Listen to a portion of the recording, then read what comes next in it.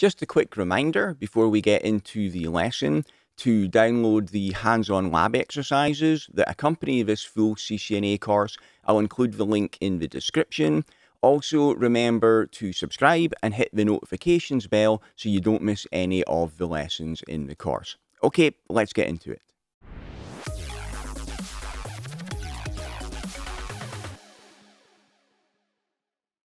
In this lecture, you'll learn about wireless infrastructure mode and access points. And it really helps to understand how WLANs work if you understand the terminology from the 802.11 standard. So I'll be going through the standard terms in this lecture. Wireless access points provide connectivity between wireless stations and between the wireless and wired networks. And when your wireless devices are communicating through a wireless access point, they're operating in infrastructure mode. Wireless is half duplex, meaning only one device can communicate at a time. So in that regard, your wireless access points operate similarly to hubs. Here's a picture of a typical wireless access point from Cisco. Your wireless APs can have either internal or external antennas. You can see the one here is internal, and they can also be designed for indoor or outdoor use. Okay, first piece of terminology is BSS, the basic service set. So an access point centralizes access and control over a group of wireless devices. Those devices under wireless settings make up a BSS. You remember from the last lecture, when we covered ad hoc mode, it was called an IBSS, an independent basic service set, because in that peer-to-peer network, the devices were operating independently without an access point. Well, now we do have an access point, so it's not independent anymore. It's just a BSS basic service set. Next terminology is DS, the distribution system. So your wireless AP provides connectivity to the wired network for the wireless clients. And it's a distribution system that connects the wireless access points to the wired network. So in the example here, you can see our AP is connected to the switch here. That's where it's getting connectivity to the wired network. So the switch is known as a distribution system. BSS ID is a basic service set identifier. Devices within the basic service sets are identified by their BSS SID, and that is based on their MAC address. So you see the example here, our wireless AP has got MAC address A.B.C, so that is used as its BSS ID to identify it in the wireless network. BSA is a basic service area, and the BSA is a wireless coverage area of an access point. This is also known as a wireless cell. So you see the example here, We've got our AP in the middle. That is its basic service area, its area of coverage. That's the BSA. SSID is a service set identifier. The SSID is a unique identifier that names the wireless network, WLAN, for example, corporate. For sure, you've seen this before. If you've walked into any coffee shop and asked to get onto their wireless network, they will give you the SSID and the password to connect to. A single access point can support multiple SSIDs, for example, corporate and guest.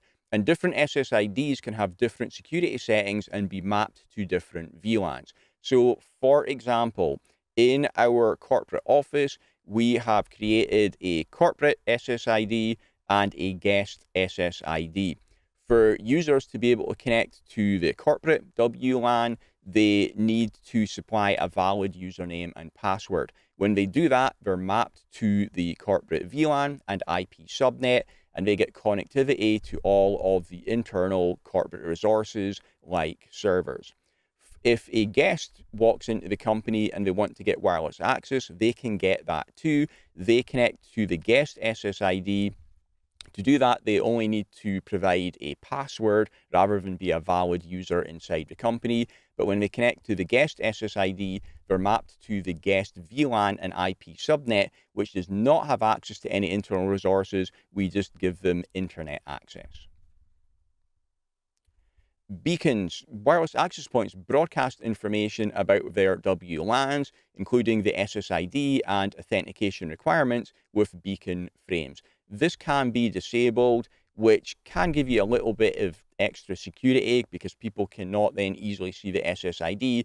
However, it is trivially easy to sniff this information from other traffic in the wireless area and find out that information. ESS is an extended service set. The same SSID can be supported across multiple access points to give a larger coverage area.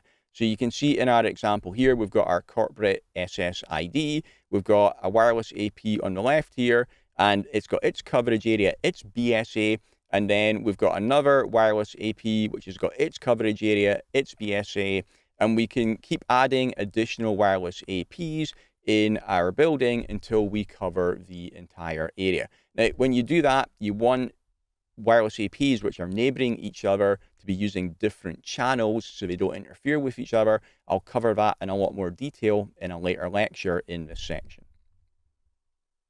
And finally, we have got roaming, Wireless client stations can roam across wireless APs supporting the same WLANs. So in our example here, we've got our laptop here, which is currently connected to the first AP. If you're on that laptop and you're wondering about the building with your laptop, then your laptop can roam to other APs like that. Okay, that was everything that I needed to cover here. In the next lecture, we'll talk about wireless LAN controllers, which give us more scalability again. Thanks for watching. If you'd like to get the complete course ad-free right now, then you can click on the link above my head or in the description to enroll in my CCNA Gold Bootcamp. It also includes full study notes, quizzes, and 150 pages of additional troubleshooting labs you can't find anywhere else.